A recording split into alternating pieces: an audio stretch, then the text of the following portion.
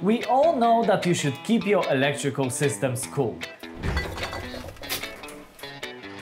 That's why we have so many solutions to lower the temperature, like radiators, fans, or even liquid cooling if you like things fancy. But have you ever considered heating up your cabinet?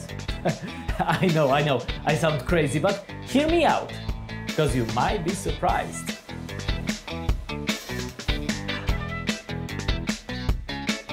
Stego is a German company specialized in climatizing control cabinets. Their products help to adjust the temperature and humidity to perfect conditions. Stego's solutions are characterized by the small footprint, high serviceability, certified safety standards and, above all, a long service life due to their outstanding and sustainable quality.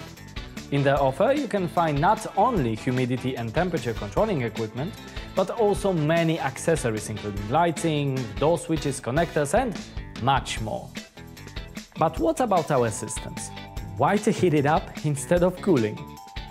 Electronics is fragile, more fragile than you think. The previously mentioned perfect conditions is the environment that the manufacturer designed the device to work in.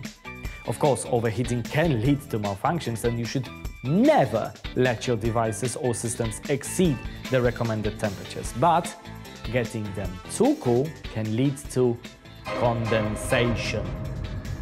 That's right, water is one of the most dangerous things that can happen to your electrical and electronic devices. And we all experience what happens when water from the air meets a cool surface.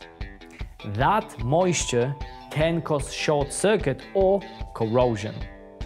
To avoid low temperatures in your cabinet when it's mounted, for example, outside during winter or a cold night, you can use PTC heaters, just like this LTF065 series from Stego. This compact device is available in three versions 50, 100 and 150 watt. Compact format and DIN rail mounting makes them perfect for most of existing control cabinets.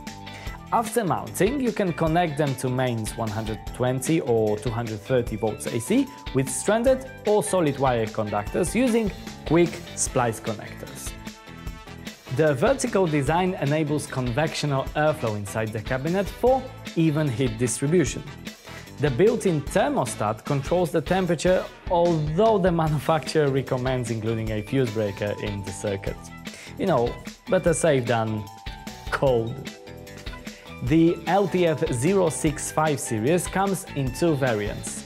Those which turn on when the temperature drops below 5 degrees Celsius and turn off when it reaches 15, or those active in the range from 15 to 25 centigrades.